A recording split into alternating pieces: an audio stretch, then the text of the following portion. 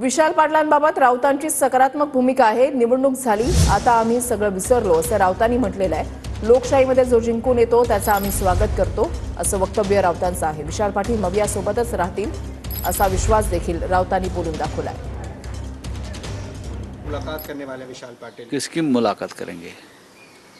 Sir Congress अध्यक्ष है नाना पटोले. नाना पटोले. नाना तो, पटोले तो उसमें आश्चर्य की बात क्या है? विशाल पाटिल कांग्रेस से बिलोंग करते हैं, उसकी उसकी, उसका जो घर की परंपरा है, वो कांग्रेस की है।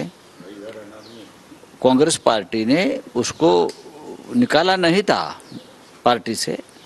अब मैं मानता हूँ, चुनाव हो गया है। चुनाव खत्म हो गया है तो हमने, हम सब भूल गए।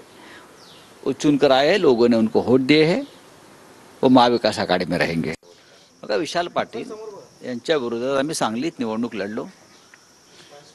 शिवसेनेला अपयश आलं विशाल पाटील जिंकले.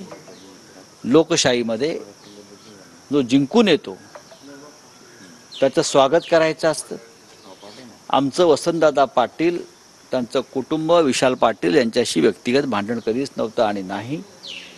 ते जिंकलेले आहेत त्यांचं आम्ही स्वागत करतो अभिनंदन करतो आणि ते महाविकास आघाडीबरोबरच राहतील याची आम्हाला पहिल्या दिवसापासून खात्री होती. लोकांनी त्यांना मतदान केलेलं आहे आणि या लोकमताचा आदर केला पाहिजे.